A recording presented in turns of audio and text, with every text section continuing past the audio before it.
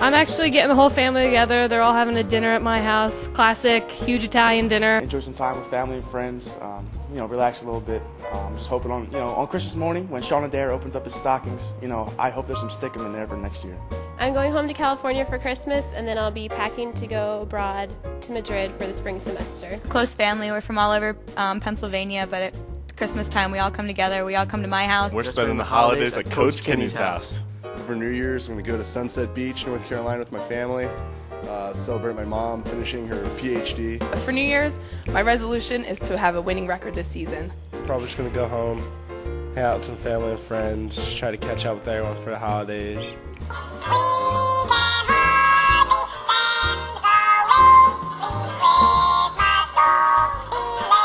I was spending a lot of time with my family and friends, and I also have an externship, so that's exciting.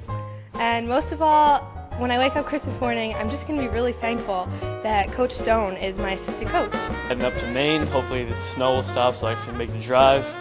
Get myself away from Pete Reynolds and Alex Blexer, my roommates, also on the track team. Go for uh, Christmas. Unfortunately, we only have a couple days at home, so I have to make the most of my time. I'll be spending uh, my time with my friends, family, my loved ones, uh, my dog Jordan.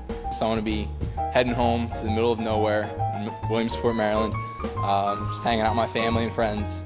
I'm doing exactly what I want to do for Hanukkah, sitting in my room studying for finals all week. I'm going to go hang out in Ohio in my barn. But my most exciting thing is uh, I'm taking a trip down to the islands, Caribbean with Chris Lewick. Don't pay attention to what he says. He's spending his Christmas with Coach Kinney. I'm going home, I'm going to see my family, and then if I find my passport and find my birth certificate, I get to go to Cancun for a week. Happy, Happy holidays, holidays, Leopards fans. Holidays, Leopard fans.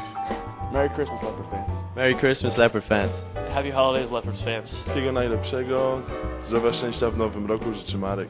Happy holidays, Leopard fans. Happy holidays, Leopard fans. Happy holidays, Leopard fans. Happy holidays, Leopard fans. From our Leopard family to yours. Happy holidays, Leopard fans.